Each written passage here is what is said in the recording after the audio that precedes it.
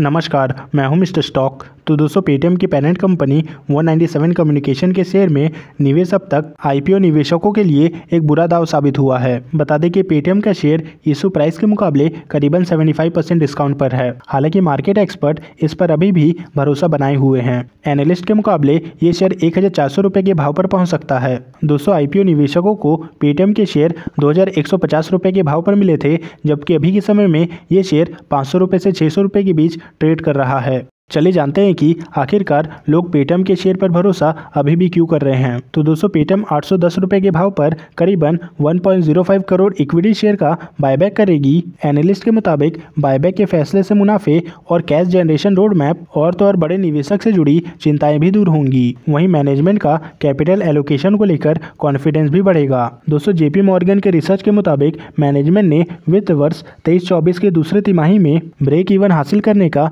जो टारगेट रखा है है, वो पूरा हो सकता है। इसी की वजह से इसका जो टारगेट है, एक हज़ार दिया गया है, जो कि मौजूदा भाव से 156 परसेंट अपसाइड है। अब सवाल ये आता है कि आखिरकार ये शेयर इतना ज़्यादा नीचे क्यों गिर रहा है? तो दोस्तों पेटीएम के शेयरों के लिए लॉक इन पीरियड खत्म होने के बाद बिकवाली के चलते इसमें जो दबाव है, वो बढ़ा है। इसके अलावा एन यानी कि National Payment Corporation of India UPI payment के ज़रिए पेमेंट की लिमिट तय करने पर विचार कर रही है। और इसके चलते भी हमें पेटीएम के शेयर में दबाव दिख रहा है। हालाँकि दोस्तों, आप कमेंट करके बताइए कि आपको पेटीएम के शेयर में कितने का प्रॉफिट या फिर कितने का लॉस हो रहा है। दोस्तों, कौन से कंपनी का शेयर कब बाय करना है या फिर कौन से कंपनी का शेयर कब सेल करना है तो आप हमारे टेलीग्राम चैनल को फॉलो कर सकते हैं। तो दोस्तों, इस वीडियो में फ़िलहाल इतना ही। मिलते हैं नेक्स्ट वीडियो में।